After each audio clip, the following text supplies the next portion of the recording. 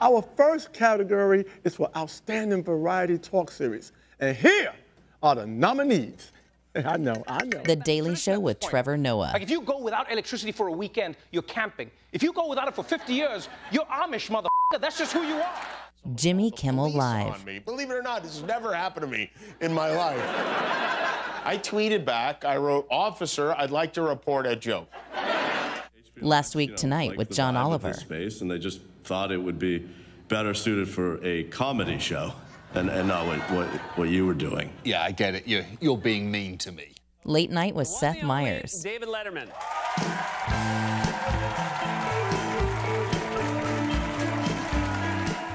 The Late Show with Stephen War in Colbert. Europe since World War II, and the whole world is in shock.